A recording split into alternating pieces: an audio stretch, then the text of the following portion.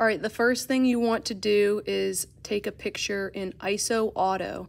So in order to do that, you're gonna click ISO and then go up to ISO Auto. And if you've got it like this or whatever the numbers are, are on, make sure it goes all the way up to 51,200 and then click OK. And then take your first picture.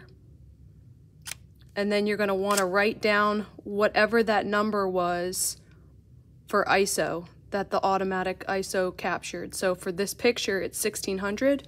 So we're gonna write, once we put our first picture in, we're gonna put that there, label it ISO 1600. And then you're gonna take that same picture and make sure you go to ISO and then make sure you're in manual ISO for the second picture. And you wanna adjust it according to how you want your picture less light or more light. So I'm gonna do 800, take the same picture, and then go back and write ISO 800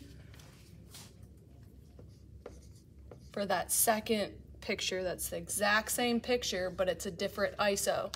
So the first picture is gonna be ISO auto, and then the second picture of the same subject is gonna be whatever your ISO is manually that you set.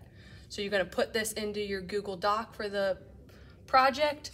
You're gonna put in your both of your same subject photos, and then there'll be two different numbers for ISO auto and ISO manual. And this is considered one set. So you're gonna end up with five sets, but a total of 10 photos total, right? That's it.